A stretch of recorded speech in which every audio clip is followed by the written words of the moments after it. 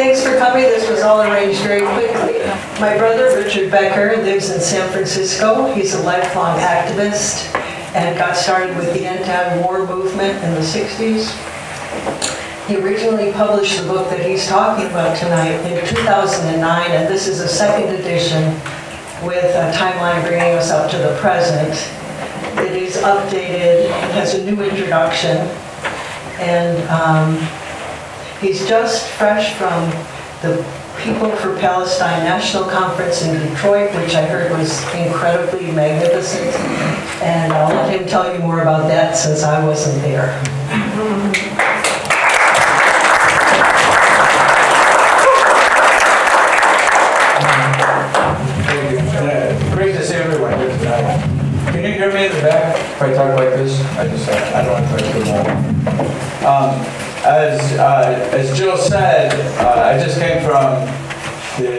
People's Conference Palestine, which was close to 3,000 people in Detroit for three days, and there were pretty much 2,000 people there at the end as at the beginning, which uh, for anyone who's been to conferences know that's highly unusual, especially for a three-day conference.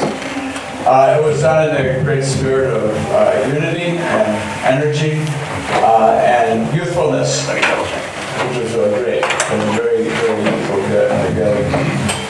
So I would like to talk tonight about a, a little of the history uh, as well as the, the contemporary situation. Um, you know, when we talk about this issue, there's often times, and I, I put this in the first book, the account of uh, George Mitchell. People remember George Mitchell as a senator from Maine, and he was the delegate to deal with Ireland. He was sent in.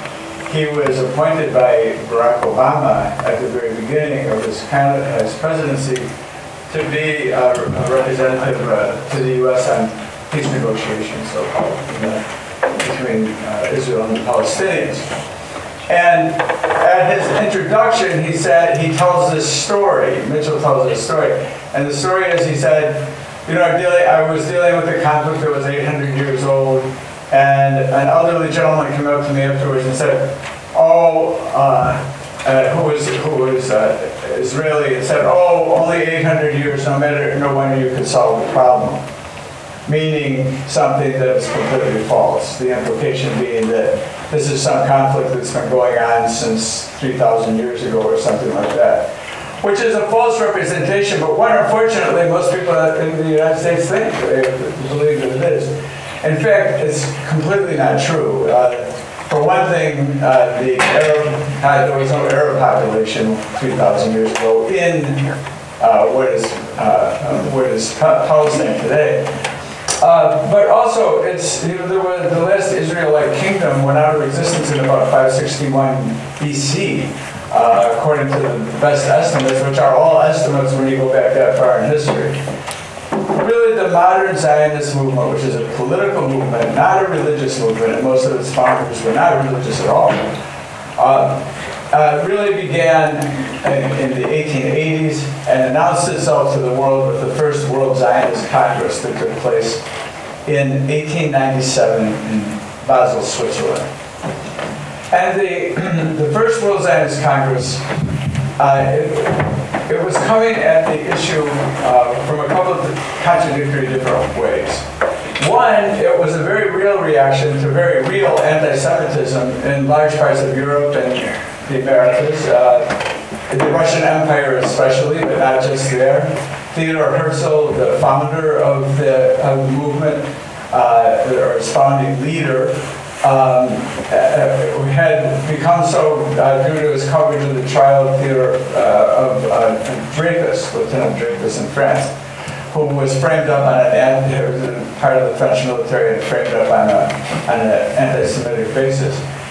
So it was, uh, but at the beginning, it was a very small movement in terms of support. Uh, it had the, the, great majority of people who were Jewish activists at that time in Europe or in the Americas, uh, whether they were socialists or they were liberal or something centrist or whatever, were, were fighting for equality in the states where they, where they were, where they lived. Uh, and they viewed uh, Zionism as a reactionary ideology. Um, The other side of the one, so on the one hand, it was a reaction to very real anti-Semitism in Europe, but on the other hand, it was from the beginning a European colonial movement. And how do we know that? Because the leader said so. And one of the things I did with the book is to try to show out of the mouths of the participants what the reality was. And, uh, and how do we know that Theodore Herzl had this view? Because he said so. He wrote a famous letter to Cecil Rhodes. Cecil Rhodes was the architect of British imperialism and colonialism in Africa for the British. Uh, and uh, he said to, uh, to Rhodes, why am I writing this to you? It's not about Africa, because it is something colonial.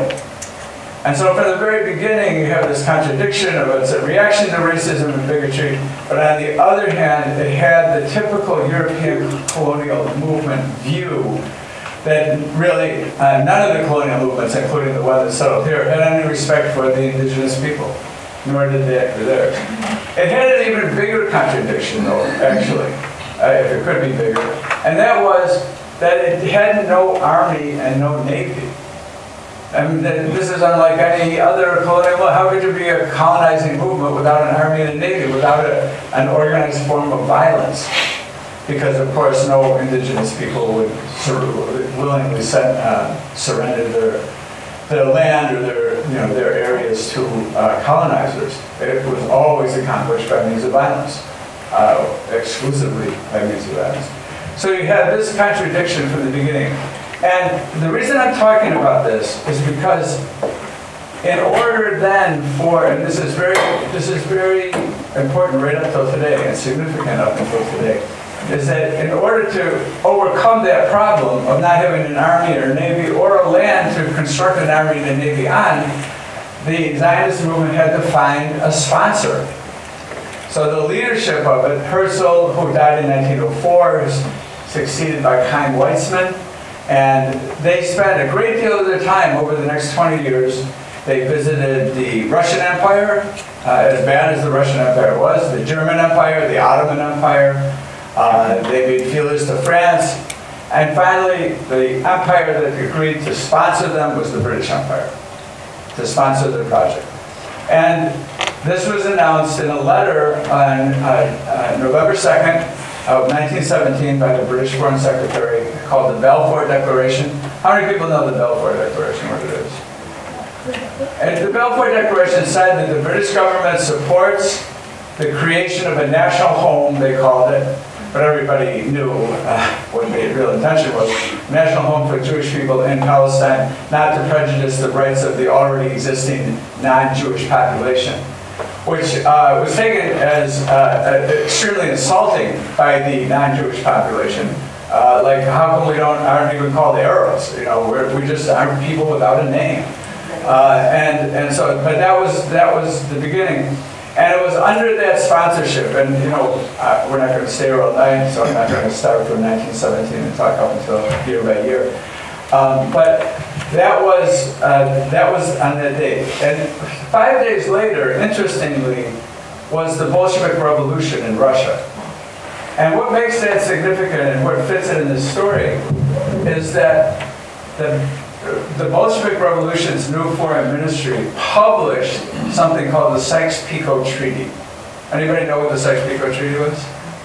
Okay. Sykes-Picot Treaty is unknown, but you can go, if you go to the Middle East, and in Damascus or in, in Cairo or anywhere, and you talk to cab drivers and ask them about the Sykes-Picot Treaty, they can tell you about it.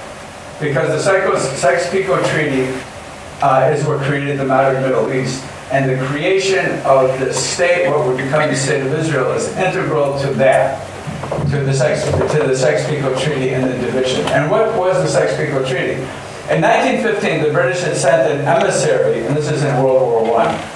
They're fighting the Ottoman Empire, or the, you know, it was the empires against the empire. German Empire, Austro-Hungarian Empire, uh, the Ottoman Empire against the British Empire, the French Empire, the Russian Empire, the Italian Empire, the Japanese Empire.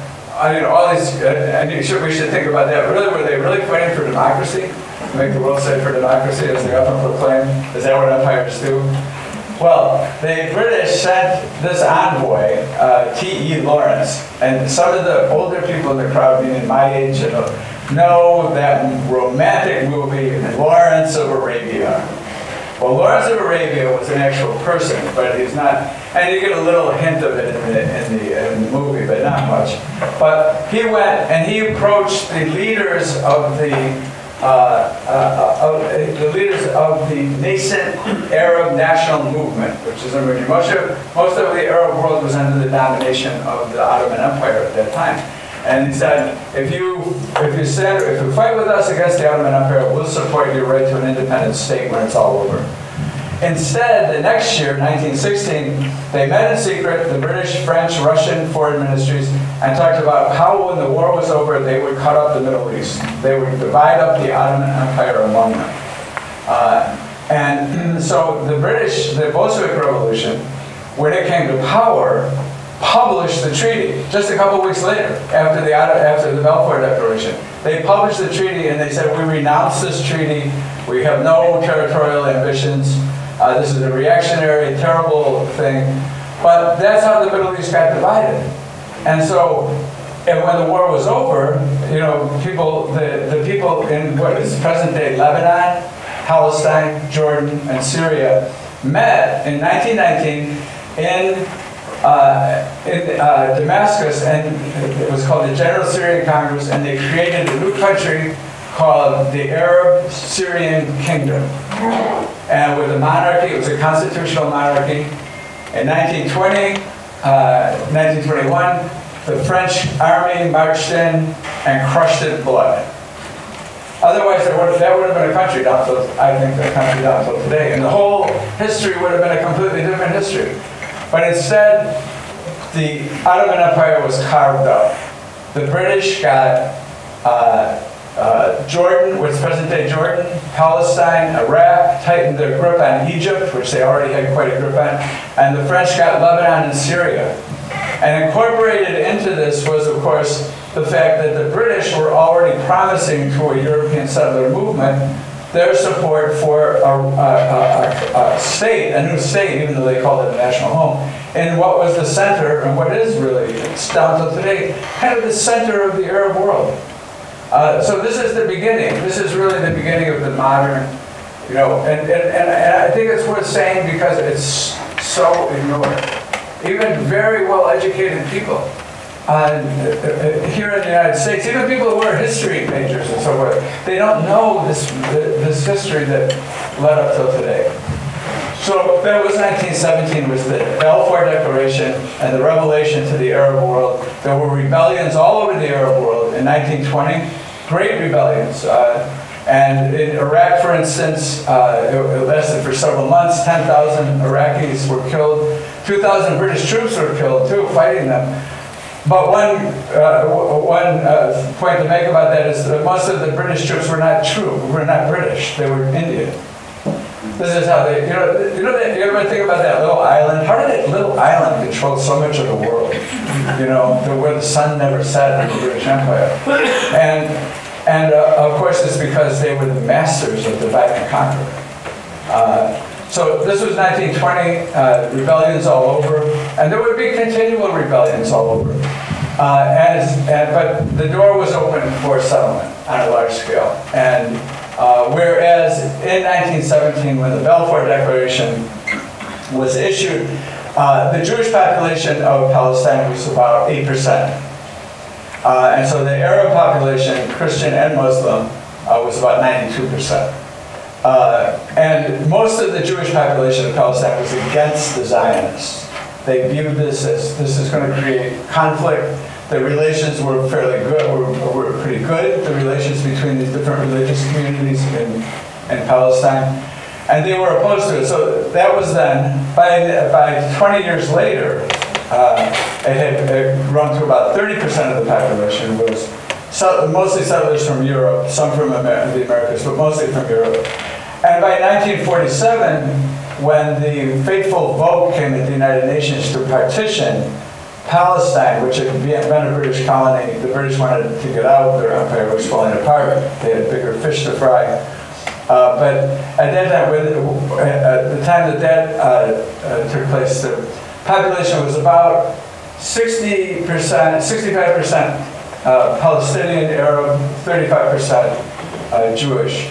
And uh, the population of the, uh, uh, the British, uh, the way that the British ended it was by announcing a couple months before that they were going, a few months before, there was a vote at the United Nations on November 29, 1947. And the vote was by the narrowest of margins to vote for partition. Uh, and at that time, that's a, a war broke out uh, between the Palestinians and between and the Palestinians and the Zionists, uh, and that, which led to the creation of the state of Israel. And 78% of what had been the British mandate of Palestine, the colony, and 22%. But there was no Palestine anymore. Gaza was incorporated into European, uh, into Egyptian administration, and, and the West Bank was, and East Jerusalem were administered by Jordan. Uh, so, but between between the, uh, those two things, uh, the Balfour Declaration and the, the partition vote, of course, there were many other things that happened. In 1936, after years of, of conflict that was going on, there was a revolution, uh, which you talk about in the book. There was a revolution in Palestine, uh, and it lasted for three years. Uh, it started with six months of uh, six months of, of, a general strike, the longest general strike in history, and then two two years of uh, of guerrilla warfare. Uh, but it was crushed in 1939. And 1939 is, of course, the year that World War II began in Europe. Uh, and and uh, one of the myths, and there's many, many myths about this conflict, which I think have been used to really deceive people and, uh, and confuse people, is that, and this was invoked after the war was over, that the leaders in the United States had great sympathy with the plight of Jewish people and what had happened in the Holocaust, where millions and millions, six million Jewish people, millions more Slavic people, uh, trade unionists, gay people, the, the, Nazis wanted to wipe out all the disabled people. All of that, including what was happening to the Jewish people that everybody knew about in the late 30s, you couldn't avoid it. Uh, none of that really uh, added up to uh, the, in, the intervention that could have taken place and that could, save, could have saved many lives.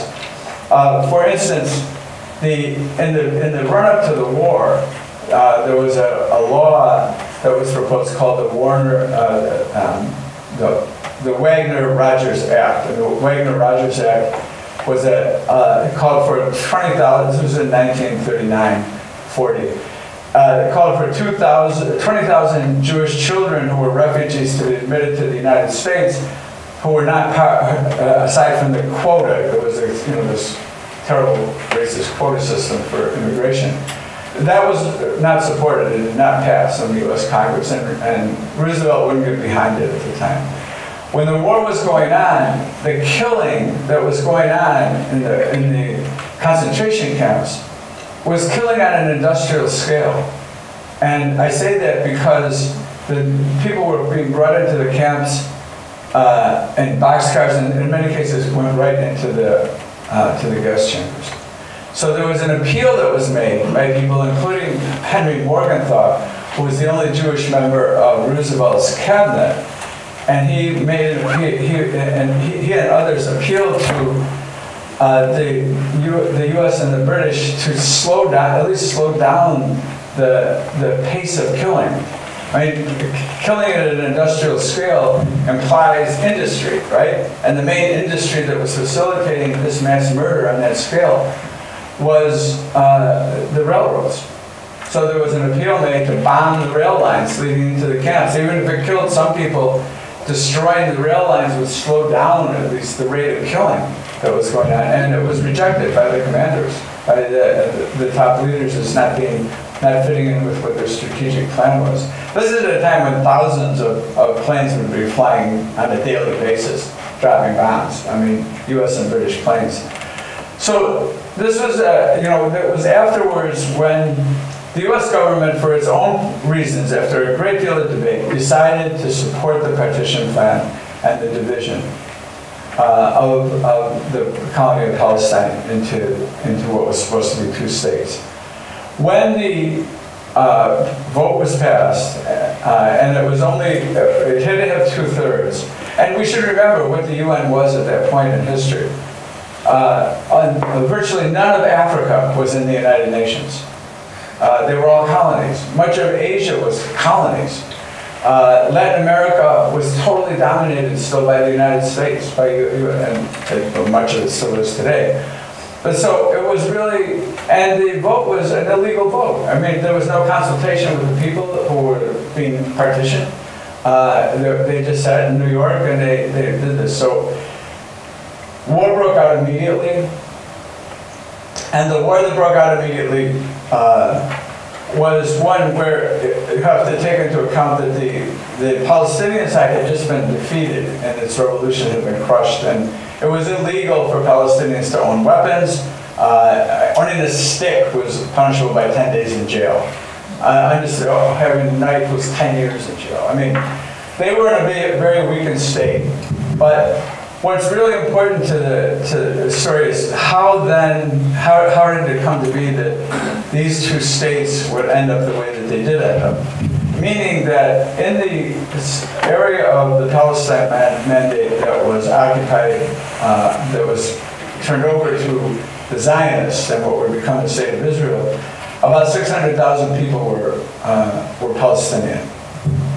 And the leaders of, uh, of the, uh, the, Zionist movement and what would become the state of Israel uh, did not want this. And we talk about this in the book. It's very well documented that, and, and this is one of the things we try to do with the book, is to show out of their own, what they say themselves. They said, we, uh, a, common, a common sentiment is, we are not of the Orient, we are of the Occident meaning we're from the West. We're not part of the Middle East. We're not part of where we want to create the state. We do not, uh, you know, that, and they, they used all kinds of language, which I'm not going to say here, but the various leaders about this, about, and, and uh, they wanted to clear their state of the population. So what was happening early in the war was that the Zionists were much better armed and funded, and the Palestinians were coming out of defeat. Uh, and the, uh, the, Zionist military forces have been incorporated into the British war machine uh, when it was when World War II was going on. They would win most of the battles, that is, the Zionist side would win most of the battles, but they were very unhappy, quickly unhappy with what the results were.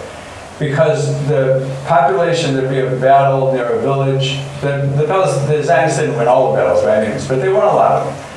And, uh, the, but the population wouldn't go away. The population would go to the next village over, or the village after that. And the decision was made that this was unacceptable, that this was not the state that they were fighting for, that they wanted a state that was an exclusivist state. And, and that state, uh, in, in order for that state to come into being, the population had to be moved. The Palestinian Arab population had to be moved. And the way it was moved uh, was through something called Plan Dalet. And Plan Dalet, Dalet is, I believe, the fourth letter in the Hebrew alphabet. So there have been three plans before. This was Plan Dalet. And Plan Dalet really announced itself to the world, and what it really was, was on April 9th of 1948, and that was the massacre that was carried out at Deir Yassin. Deir Yassin was a village of a little small village on the outskirts of Jerusalem, and the entire population was, was wiped out, uh, with a couple of, of, exceptions. And it was carried out by one of the three Zionist military groups, this one being the Irgun. And the Irgun was led by a man named Menachem Begin, who would later become uh, prime minister. Uh, well, later that year, I should say, uh, when he was going to come to the United States, Albert Einstein and a number of other prominent Jewish figures uh, wrote a letter that was published in the New York Times, quite a famous letter, and it said, don't, don't let this guy in, he's a Nazi. I mean, uh, can you imagine in 1947, one Jewish person calling another Jewish person a Nazi? You couldn't say anything more, uh, you know, indicting about somebody. Um, But his group was the group that, that carried this out. Uh, A few days later, they were incorporated into the mainstream uh, Zionist army, which was called the Haganah. Uh, They became part of it. And then there was, there was really a killing spree that took place. Uh, The Israeli historian Ilan Pappé has written a book called The Ethnic Cleansing of Palestine, where he says that up to, two- there could have been up to 200 massacres that took place like Deir Yassin. And many of them, it wasn't the whole population that was wiped out. Uh, Men and boys of fighting age be separated, some would be shot, or uh, other survivors would be uh, loaded into trucks and driven to borders and dumped out. And after that was done a number of times, just the rumor that it was going to happen made people flee. People all expected, the Palestinians who fled, and there, there was a myth about this that I grew up with, and maybe some of you did too, that the reason that the Palestinians left was that uh, they were told to by the kings, the, the monarchies, and that they would come back with the Arab armies. Uh, that, that, but- that was, that's not what happened. The, the population was almost all farmers. Probably 85% were farmers. And farmers can't actually leave their farm and, you know, come back at some unspecified future date. Uh, the, the, the, uh, the, the farm dies, you know, everything falls apart.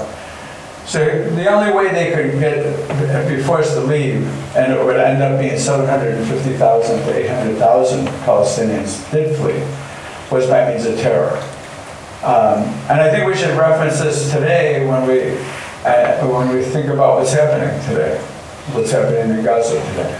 And, you know, how come, the, you know, the whole vocabulary that we, we have and that we, we are accustomed to, like, why isn't a pilot, you know, there's no air defenses in, in Gaza, there hasn't been air defenses. Why does a pilot of a, of a high-tech warplane who drops 2,000 pound bombs on apartment buildings, why isn't that called terrorism? It's because it's the other side, I mean, and there's so much, it's like a gunman is, a gunman is never a, a, a, an Israeli soldier with a gun, it's a Palestinian with a gun, because it's a derogatory term. But there's all that kind of, voca- all that kind of vocabulary. By the end of 1948, early 1949, uh, half of the uh, population of uh, Palestinian Arab population had been uh, forced out of, of from where they lived. In the winter of 1948-49, thousands of people died of exposure. If people have seen from the early period, you know, the, the tents that were, you know, like huge rows of tents where people were living, they didn't exist in 1948, 49. That was later. Uh, so this was a completely, you know, unprepared expulsion of, as I said, half of the population, uh, Palestinian Arab population, uh, 750,000 people. And the, uh, this is really, this, this- is the, the real story of, of what came about. And the, uh, the role of the, of the US government was critical in this, although the US government di- didn't immediately, there had a lot of conflict within the government over the relationship to the state of Israel. Um, But they, did force through the resolution of the United Nations that caught, that brought about what I said was the illegal partition. Uh, the four countries, they have two-thirds at the UN, and four countries, Haiti, Liberia, Philippines, and Thailand, all said they were going to vote against the resolution, and the resolution would have failed. But the US was able to put such heavy pressure on them, particularly as states that were really neo-colonies of the United States. They weren't officially colonies. They were neo-colonies. That's, that's really how it passed. Two of the, they had all said they were going to vote no, and two of the ambassadors quit their jobs as ambassadors rather than be the ones who actually uh, cast the vote in favor of the partition. Um, but this is it. At the beginning, uh, the British left, and then I'm talking about now the beginning of the State of Israel. The British left in 48. Uh, and for a period of time, it wasn't, there wasn't a great enthusiasm in the U.S. for Israel. Uh, more came from, from uh, France. And France, now that the British were gone, France for a period of about 15 years became the main armor uh, main weapons supplier for the state of Israel.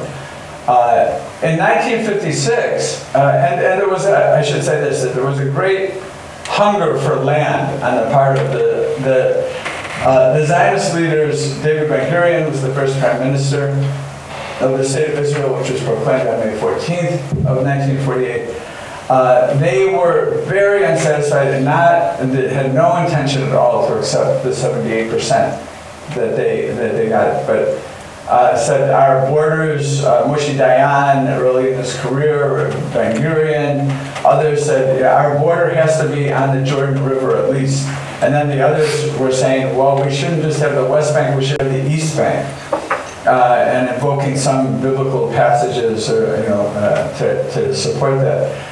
But in 1956, Nasser, who was uh, Gamal Abdel Nasser, who was the, pri- the leader then of the Arab national movement that was just emerging.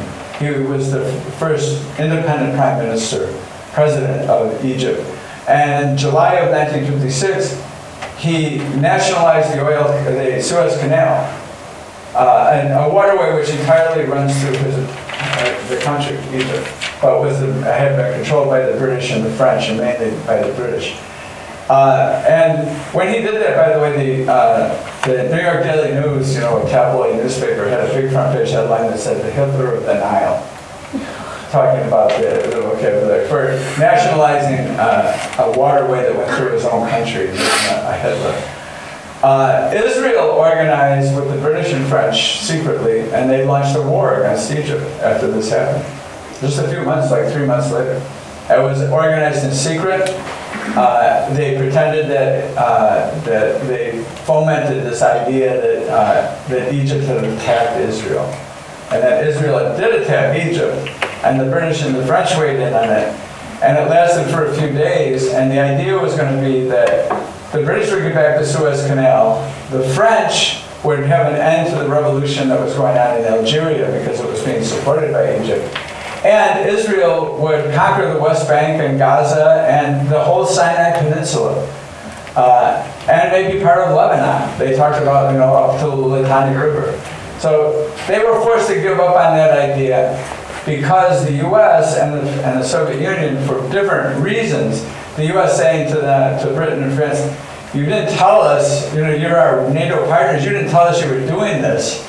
And, you know, and uh, you're not going to be the colonizers anymore. The new colonizer is coming. They didn't say that, of course, but that's what they meant. And I mean, in the U.S. was going to become the dominant power in the Middle East. And the Soviet Union threatened to, uh, to go to war against, against uh, Britain and France if they didn't withdraw their troops, so they had to. That was 1956. In 1967, and as we document in the book, there was the Six-Day War, which is coming up. And by the way, we're going to, I'll, say something else about it, but we're going to have a big demonstration on the anniversary of the Six-Day War in Washington uh, on June 8th. So it was in June of 1967. And this time, and again, it was presented to the world as if Israel had been attacked and was just fighting a defensive battle.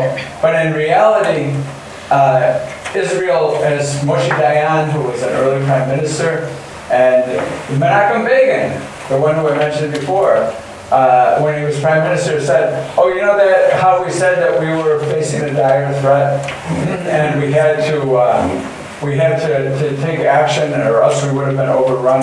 Both of them later said, "No, that's not really what happened.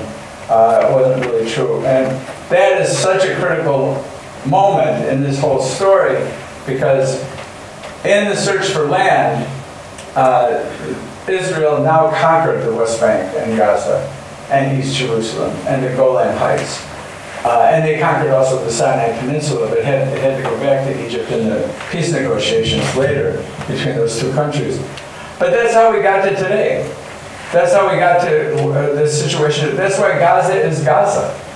Uh, and, and, it's completely separated. I mean, Gaza is mentioned in the Bible, and it goes back, goes back a long way. But the present circumstances were created by that war, by the 1967 war.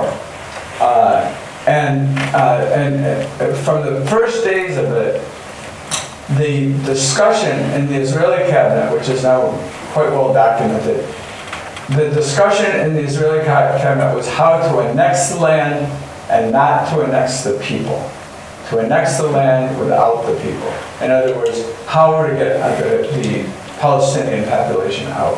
This has been the aspiration from the beginning of this colonial enterprise. And I should say this, is that, I, I, I don't want to talk too much more, and we can, I, I think we should have a discussion.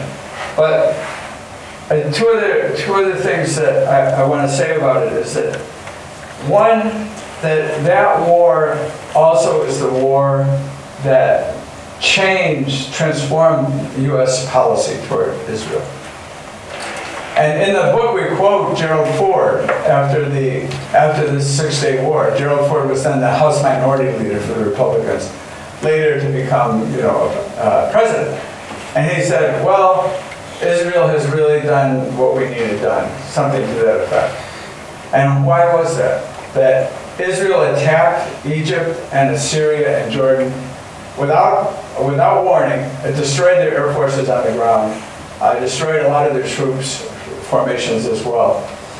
Uh, and they, uh, they carried out this, this war, and from the U.S. point of view, this was advancing, and Ford and, and, and Nixon, who will follow him, and John, I mean, all of them thought this. This is great. This is great because uh, by, by uh, attacking the most important countries in the Arab world, Syria, which was then being called the Cuba of the Middle East, and Egypt, where Nasser was the most prominent Arab leader, that this would de-develop, help de- the de-development of the Middle East, which is good for U.S. imperialism and U.S. Uh, U.S. Dom- uh, global domination. So that took place at that time, and that's when Nixon came in the next year, or he was elected the next year and came in in, in 1969. And Nixon, uh, and Nixon, uh, and, uh, with Kissinger, of course, they initiated the, what came to be called the Nixon Doctrine. And the Nixon Doctrine, the idea of the Nixon Doctrine was that Israel would get vast amounts of weapons and money, and Iran, where the U.S. had put the Shah back on the throne in 1953, ushering in a quarter century of a horrific police state dictatorship in Iran. Why do people? Why are people in Iran angry at the United States? We just can't figure it out. So just you know, how could that be? Um, so that, and the idea was that they should be at one end of the Middle East and on the other end, the controllers and the patrollers of the whole region uh, for the benefit of the United States. Meaning that they should suppress national liberation movements, overthrow independent governments or weaken them or bring them down, and in exchange, uh, and why did, why did in exchange they would get vast amounts of money, especially Israel? That's when Israel, Let me hold the money going to Israel went from the millions to the billions of dollars my melons. I'm sorry. was with the Nixon Doctrine. And, uh, and, and so it's, that's been, so we have this, this pattern that took place and, and it's continued down till today, where the Zionist project had to have a sponsor at the beginning. And today, and I think that many people in Israel know this, many people in Washington know it too, they don't often say it, but they know it, and sometimes they do say it, is that Israel cannot be isolated. It has to have the backing of one of the big powers, of one of the major powers, in order to continue. And I think that's as true today for different reasons, under different circumstances, as it was true back at the time of the Balfour Declaration. There had to be a sponsor, and it had to be one of the big powers uh, in order for the state of Israel to, to exist and to, to continue. So that puts, I think, a particular, puts um, particular importance on what is going on inside the United States. If that is in fact true, and I think it is true, and I think it's, I think it's provable that without the support of the U.S., this can't, what we see going on in Gaza today, what we see going on all over Palestine, the brutality that, and and I have people have been there? Has anybody been there?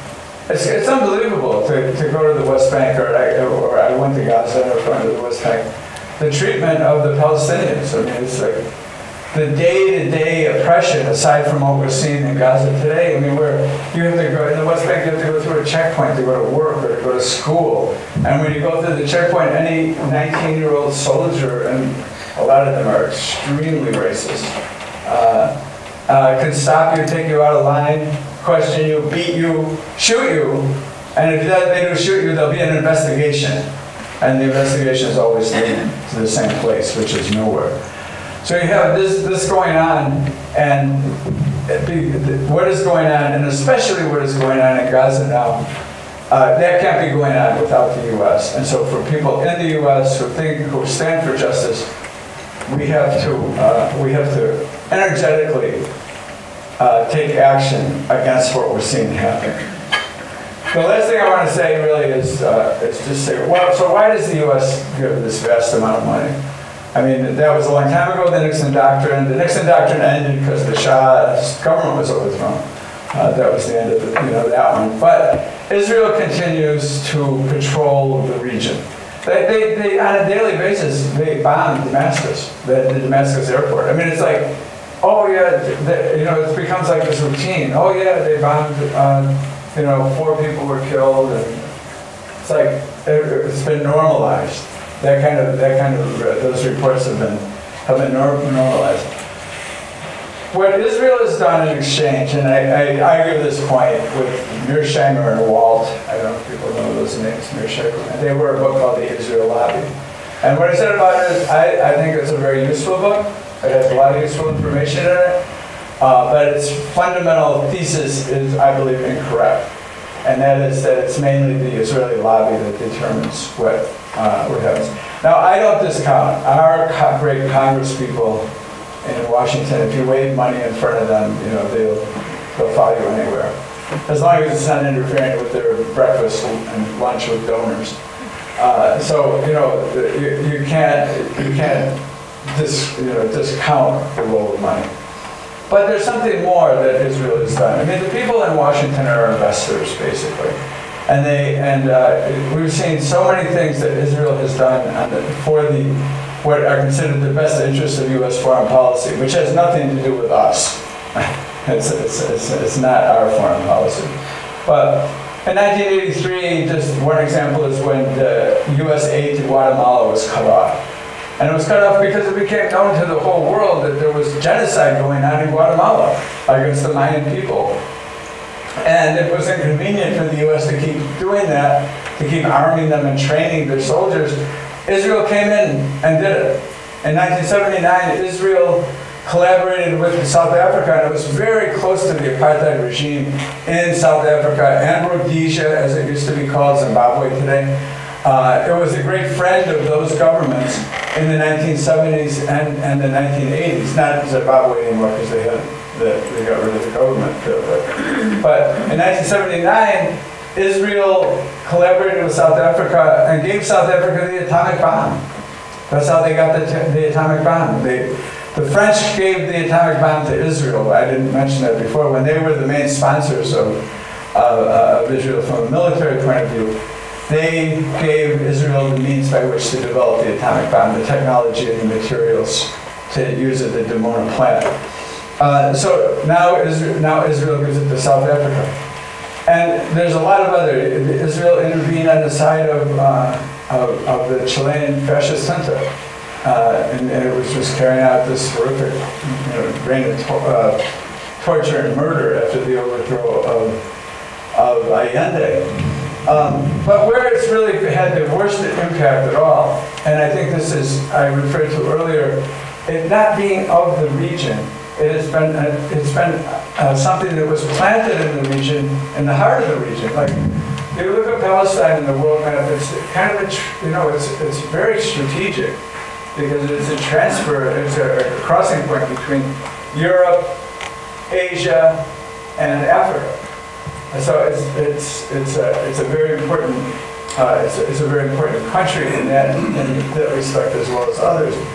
But the, the fact that Israel was not really there, it was really, it was really following another direction, and it was following uh, both the direction of Washington, uh, which wants to see its interests protected, but also its own interest in being the only military power, strong military power in the region. So it's had a very, you know, and, and it's considered, Israel is considered to be different than, uh, than, than the other regimes in the region. You know what, there's all these monarchies that are, all our friends, quote unquote. I mean, what are, what's going on with family monarchies in 2024? You know, I mean, but, but uh, they're all willing, like back, take Bahrain for instance, Bahrain uh, in, the, in the Persian Gulf, so the Fifth Fleet is headquartered. The government wants to be friends with the U.S. The, the, the king and wants to be friends with Israel, and you know that's all fine. But the U.S. doesn't regard them as really stable in the way they regard Israel as being stable. Because if the people of Bahrain had their way, and they tried two years ago, they would overthrow the government and stop having these uh, the accords with the state of Israel. So they're viewed as not really stable. US, the U.S. leaders view Israel in a different kind of way. So even though they have disagreements with them, like they're having disagreements right now, because uh, on the one hand, you have uh, you know Israel carrying out this, this offensive uh, and, and really genocidal offensive, tens of thousands. I mean, there's probably more than 50,000 people actually dead, Palestinians and and, and, and uh, probably an equal number that are wounded. So this is going on, and Israel wants land. Uh, like I said before, it has not given this up since the beginning. Wants to have larger territory. They want to take back Gaza. The current government has said, uh, the leading ministers have said they want it. And, and also we have Jared Kushner, Kushner uh, you know, the son-in-law of uh, Trump saying, Oh, it would be a very nice waterfront ter territory. Uh, so you have them, you know, uh, uh, really carrying this out. Um, so the, the, the, very last thing I want to say is this, is that this relationship has to be, really needs to be understood as the, as the relationship for what it really is. That, uh, and, and uh, you know, it's a relationship that is a deadly relationship at this point. And it has been a deadly relationship since the, since the beginning. Um, I, I, quote in the, uh, in the book, um, uh, we reprinted actually the, uh, an article from 1969 called Israel Base of Western Imperialism. And the uh, author is an Egyptian historian, Abdul Wahab al-Messiri, a very highly respected uh, European, uh, Egyptian historian. And he recounts that he was teaching at Rutgers University in 1960, 1968. And he asked a student who was from the Peace Party in Israel at the time, they called the Mapam Party. He asked him, why is Israel supporting the United States in Vietnam? And the student replies, Israel must defend itself.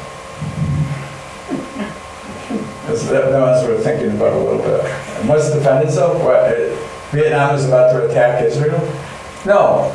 It means that that relationship, that essential relationship with one of the great powers, means that you have to really be with that country in, in, in its critical moments. That Moshe Dayan would go to, you know, visit the U.S. troops, and what was he doing visiting the U.S. troops in Vietnam?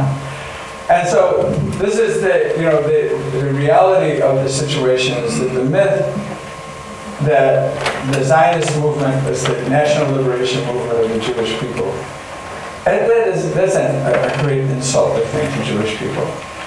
Uh, it, it's, that's not what it is. It cannot have been dependent from its beginning on British imperialism, French imperialism, U.S. imperialism, and be a national liberation movement those are mutually contradictory uh, uh, things. So I'll stop at that.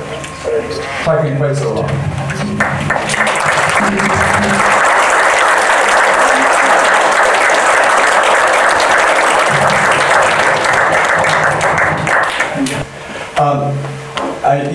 Something a while ago, back at the time of the uh, Iraq War, about how did the U.S. first get involved in Iraq?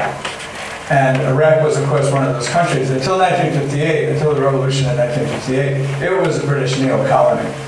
But in 1927, after 10 years of, or 8 years of debate after the end of World War I, there was a resolution reached in regard to Iraq's oil.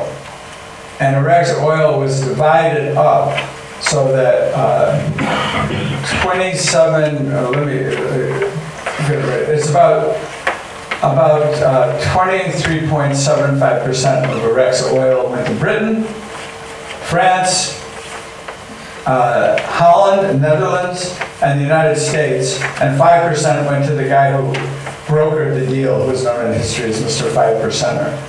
Uh, and the point about that is that this is also part of the formation of the modern Middle East, along with the Sykes-Picot Treaty, the Balfour Declaration, the 1927 Red Line Agreement, uh, and, and it was so until this revolution in 1958, Iraq got 0% of Iraq's oil.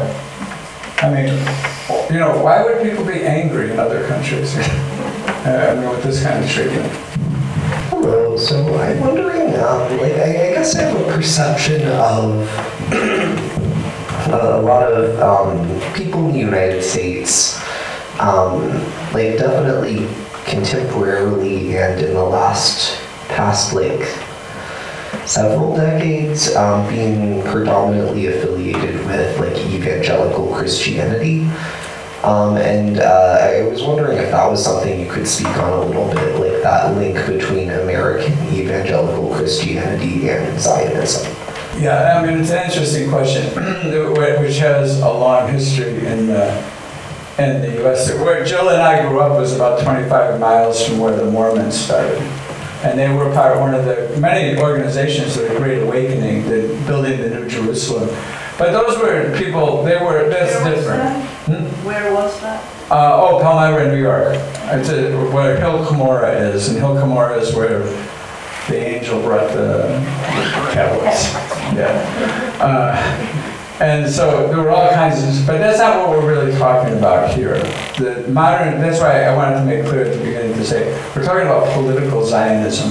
The political Zionism that became a political movement uh, uh, earlier on. But so now you have a different uh, base of support for the state of Israel that has been very strongly encouraged, which is the, the um, you know, the born again Christian movement, the uh, Christian nationalist movement that supports, and they become, they as a group are more solidly supporting Israel today than the Jewish community. There's big divisions inside the Jewish community, including, you know, among, particularly among youth, but not only, not exclusively among youth. But their leaders are, are treated, you know, they, they, the Israeli government welcomes them, brings them, puts them up in five-star hotels, you know, takes them on these lavish tours, gives them presents, probably gives them money. I don't know all that they, they get out of it. But it's so cynical on the part of the Israeli government because the story of these groups is that Jesus will come back, you know, the battle of Armageddon will take place.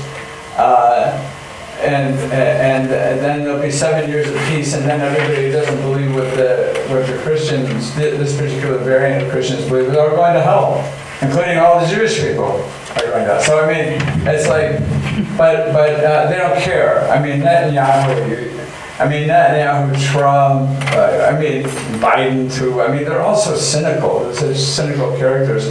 They'll, they'll do anything and accept anything. So I think that that, but, but uh, that's an important constituency. You know, I, I should just popped into my head because I said Armageddon. But I was at the Jenin, uh, the city of Jenin, Jenin refugee camp in 2002.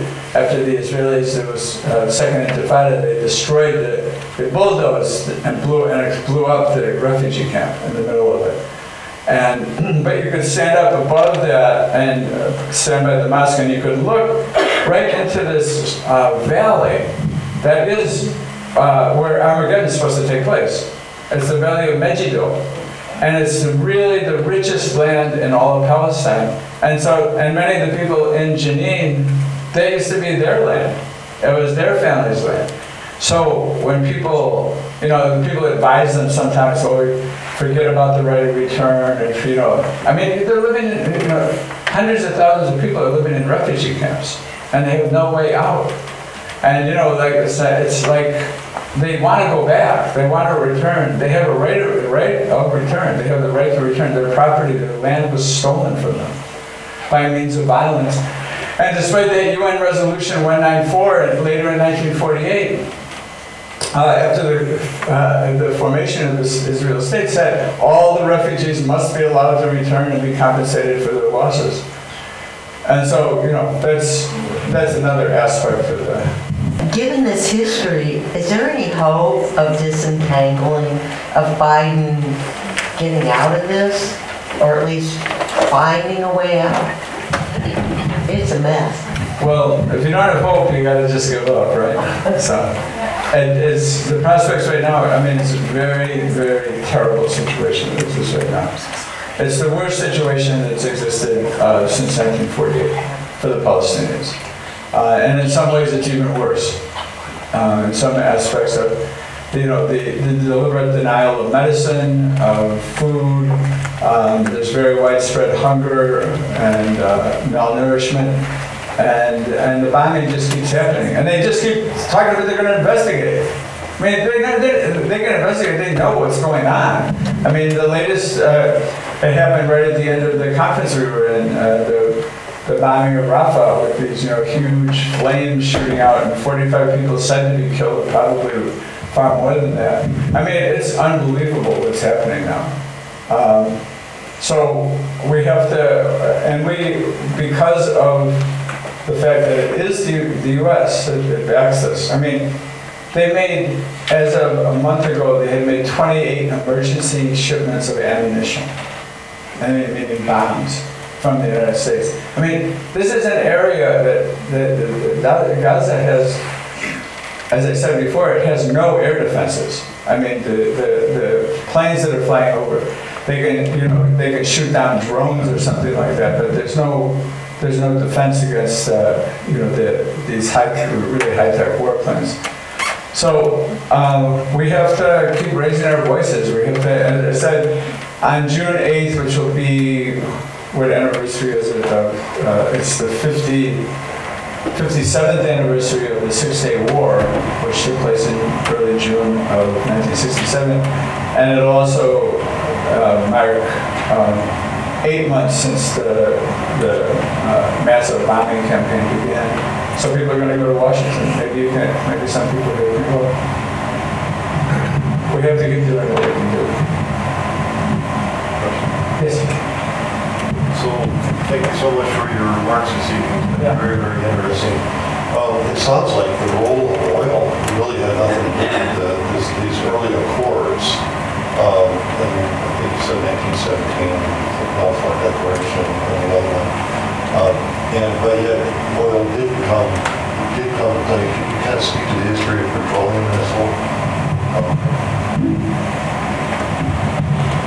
Um, well, there's a lot of history, of course. Has a huge history. But I wouldn't say it's unimportant. In a certain way, because the focus of U.S. foreign policy right now is shifting from West Asia to East Asia, and, and, and there's kind of a there's a very disturbing, I would say, underlying normalization of the idea that war with China is coming. Uh, that's, I mean, talking about the potential for catastrophe. Uh, but so uh, the Middle East remains very important. Oil remains very important. Um, at the beginning, uh, as I said, the, the, the way the U.S. got involved really in the Middle East in a serious way, even though there are no U.S. troops that fought in the Middle East in, in World War I, was that Red Line Agreement that took place 10 years later that eventually, that essentially divided Iraq's oil up five different ways, none of, the, none of which were Iraq. And then there was 1932, there was the creation of the state of Saudi Arabia. It did not exist before that. Uh, and it really, literally means the Arabia of the Al Saud family. It's one family, that huge country with vast oil resources is uh, because of uh, that U.S. intervention in the 1930s. the uh, uh, Aramco oil company, the U.S.-based oil company in Saudi Arabia, and the U.S. embassy were in the same building in, in Saudi Arabia. I mean, it's a, it's a pretty gruesome history, uh, every way you look at it. And it- but uh, so it's not that oil has been uh, is not important. It's been very important. It's very it's very, very essential. In the middle of World War II, um, uh, there was an exchange of letters between Roosevelt and Churchill.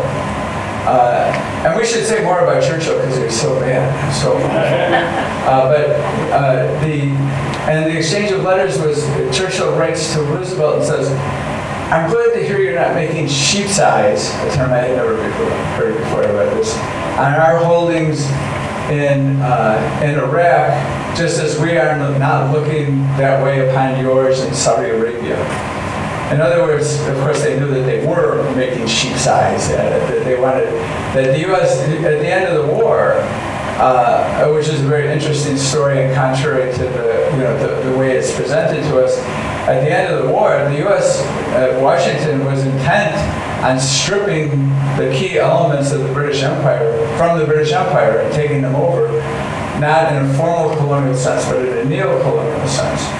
So uh, it was extremely, the fact that they were writing this before the Normandy invasion, we're having a discussion about all embassies, all U.S. embassies in the world are directed to see what oil concessions our, our oil companies can get. I mean, when I read that, I was like, what? You know, the, the war is not won. It wasn't close to being won yet. And they're already talking about like how we're, you know, how we're conquering new oil fields. So oil has been very, very important. Um, in you know in, in Iran, I mentioned the overthrow of the Shah of Iran. So the British and the and the U.S. intelligence services collaborated to overthrow the the Mossadegh uh, government, the first elected government in in um, in Iran's history, and put the Shah, the so-called King of Kings, who was something phony anyways, but put him on, on the throne to serve U.S. interests. And right after they overthrew them, the New York Times has an editorial, and the editorial said, uh, well, now this will be a good lesson for other uh, developing nations uh, that want to engage in resource nationalism. That's the New York Times, the, the, you know, the official voice. In other words, if, if a country wants to use its resources for, if a country of the third world, as it was sometimes called, or the developing world, wanted to use their resources for their own people, for their own, the benefit of their own country, you know, you will overthrow you. You know, so here's your lesson, you'll get overthrown. I mean, they didn't always succeed in overthrowing them, but that's really gets to the essence of what imperialism means. Imperialism has no concern, the imperialist countries have no concern for the uh, for the, the, the rights of, of people there or the rights of people here. It's, it's, it's you know, it's, it's all been a mythological presentation. But oil, oil was very important. Oil continues to be very important today. I think that right now, though, as I said, the focus of U.S. foreign policy and one of the reasons that the Biden administration wants to calm things down to some degree about the Middle East is that they're shifting their focus to East Asia. But what the U, uh, what what Israel is doing is creating great anger. And I would say one of the difference, I think, that a, a big difference between the U.S. and Israel is that Israel wants land, as I said. They want to force out the, the, the Palestinian population and take more land. The U.S. is managing a worldwide empire. It's even a bigger empire than the British had. Like not in formal colonies, but nobody ever had 800 military bases around the world. What are they doing there? No idea what they are. Are you saying that the U.S. does not want a two-state solution? Two-state solution is the solution. Does the U.S. want a two-state solution? Yes, I think they would like to have a two-state solution, but they can't figure out where the second state would go at this point. You know, there's so much, there's so much, uh, there's so many settlements, and and what the what the um, understanding of from Washington's point of view, what the two-state solution would be, and this is why, it, and, and really always has been, is that it would be, it could have a police force, but it couldn't have a military the, the second state. And it would have to agree, the way, you know, the Oslo Accord, um, which was in 1993, the Oslo Accord, I read the Oslo Accord. It was like a really painful thing to do, test to undertake, but because it goes through, it's like hundreds of pages long. And it goes through all, every detail about it, like how melons get transported to Jordan. And I mean, it, like, there's all these details, meaning that, you know, there's no such document as the Oslo Accord for the United States of America or Israel that, uh, that, that outlines everything you can do and can't do. Uh, and, uh, and, and to talk about a state having a state of Palestine, um, and some Palestinians would welcome it. I think many of them would welcome a, a, a, second state, but they wouldn't necessarily say, well, that's the end of the struggle. But they would welcome having a second state, and it would be better than what's going on now. But uh, it would be a colonial, it would be, it, would be from Washington and, and, and, and Israel point of view, it would have to be basically a, a neo-colony of Israel. Other than informing people about what's happened over the years since 3,000 years ago. And I know you want people to buy your book, of course, but what, what's your solution? What, do do you have a solution in your book? If you could summarize that. Well, uh, we have a number of um, appendices to the book. Uh, one of them I mentioned already. Another one is an interview with uh, a, a leader who's still in prison all these years later, Ahmed al-Sadat. Uh, and that's Sadat. I'm saying the wrong name. Yeah, and, and he was the leader of the Popular Front, which is the uh, or one time the second largest organization. It's still a very significant organization, and and also by Palestinian activists here. And where they say we would we would accept having a, a second state, you know, and uh, but their aspiration is for one state with democratic rights for all people. Uh, they, they say that as a, the, the um, two-state is a transitional idea. We've been very careful about, like, because we're here, and we're in, in the interest of, you know, of self-determination, we have tried to be very careful about what we say what the solution is. But having said that, I, I, I don't see what the solution uh, can be except one state with democratic rights for all people. The problem is, we're very far away from that. The situation is very far away.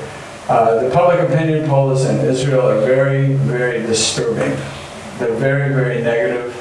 Uh, and a big majority of the people would not live in the same apartment building with a with an Arab. I mean, that's in the 1948 borders. I mean, it's and uh, and among the youth, it's worse. Uh, among the Israeli youth, it's it's it's uh, a lot of they have a big following for a couple of people who are really fascist in the in the government. The minister of finance, who also has a portfolio for the West Bank, named uh. Alazzo Smotrich, and then the other Itamar Ben-Gvir, who's the Minister of Na- uh, National Security, and he, um, the, he has control of the prisons, and there, there's like day in, day out torture going on in Palestinian prisoners. There's 10,000 of them. It's a horrific situation right now, but I think in the end, I don't see how, you know, it's an apartheid state also. You know, I mean, one of the things that was amazing to me was, and, it, uh, is at least 20 major Palestinian, Israeli, international, U.S. human rights organizations have documented in great detail how uh, the ways in which Israel is an apartheid state, and there's many, many, many. Uh, and then the, the Congress of the United States back in November voted 412 to 9 that Israel is not an apartheid state. I mean, okay, so, you know, next they can that the Earth, you know, is the center of the universe. The sun goes around the Earth, not the other way around. I mean, you can, they can, uh, it's it's just such a- an an incredible thing, but it is an apartheid state. And, and I say that because I don't believe any apartheid state can last forever. I remember being, I was involved in the anti-apartheid movement for, for years. And, you know, everybody thought, well, how can this end? Have so much power, of the South African military, and they're backed by the US and they're backed by the British. But at least from the point of view of the legal system, it did change. And afterwards, there was a, a South African activist uh, who, actually, I found out later was actually uh, uh, quoting Rosa Luxemburg, essentially, from 100 years ago, saying, every revolution is impossible until it happens, and then it was always inevitable. Uh, how could it? But let me just say something before we close, and, and people have a chance to buy books if they like to. But I want to say, here in 1920, there's a, a, a, another great mythology is that, you know, Winston Churchill, a great friend of Roosevelt, you know, hugging each other on battleships and all that kind of thing. Uh, and is supposed to be a great hero of ours, too. But he wrote in 1920 for London's Illustrated Sunday Herald, he offered his point of view. He said, From the days of Spartacus to those of Karl Marx and down to Trotsky in Russia, Bela Kun in Hungary, Rosa Luxemburg in Germany, and Emma Goldman in the United States, this worldwide conspiracy for the overthrow of civilization. Does that, does that sound like anything people have heard before?